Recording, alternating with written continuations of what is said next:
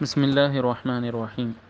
کلا ان الانسان لیطغى ان استغنا ان الى ربک الرجعا۔ ہاں ہاں بے شک آدمی ضرور سرکشی کرتا ہے۔ اس بنا پر کہ اپنے آپ کو غنی سمجھ لیا۔ بے شک تیرے رب ہی کی طرف لوٹنا ہے۔ ابو جہل کو کچھ مال ہاتھ آ گیا تو اس نے لباس، سواری اور کھانے پینے میں تکلفات شروع کر دیے اور اس کا غرور اور تکبر بہت بڑھ گیا۔ اس کے بارے میں اللہ تعالیٰ نے اس آیت اور اس کے بعد والی دو آیات میں فرمایا کہ ہاں ہاں بے شک آدمی اس بنا پر سرکشی کرتا ہے کہ مال اور دولت کی وجہ سے اس نے اپنے آپ کو، اپنے آپ کو اللہ تعالیٰ سے بے پرواہ سمجھ لیا۔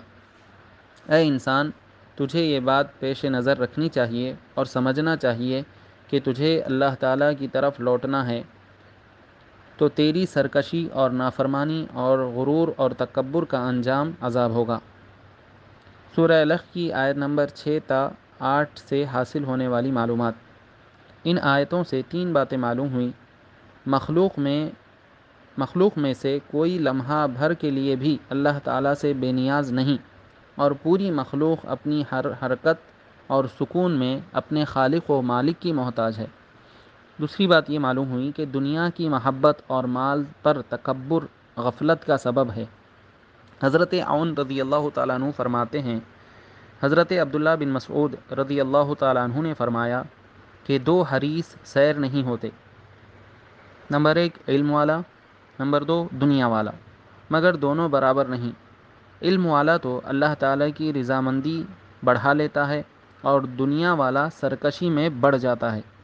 پھر حضرت عبداللہ بن مسعود رضی اللہ تعالیٰ عنہ نے یہ آیت تلاوت فرمائی، کلا ان الانسان لیطغى ان استغنا۔ ہاں ہاں بے شک آدمی ضرور سرکشی کرتا ہے۔ اس بنا پر کہ اپنے آپ کو غنی سمجھ لیا۔ اور دوسرے یعنی علم والے کے بارے میں یہ آیت تلاوت فرمائی، انما یخش اللہ من عبادہ العلماء۔